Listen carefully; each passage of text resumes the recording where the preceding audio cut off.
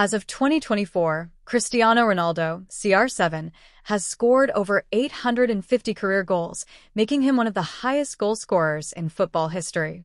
His goals come from a prolific career spanning top clubs like Sporting CP, Manchester United, Real Madrid, Juventus Al Nassr, and the Portugal national team.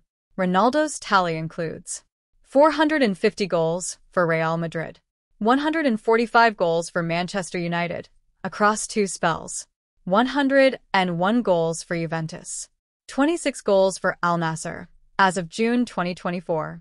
127 goals for Portugal as of June 2024, making him the top scorer in international football. Ronaldo has achieved many records, including being the all-time top scorer in the UEFA Champions League with 140 plus goals.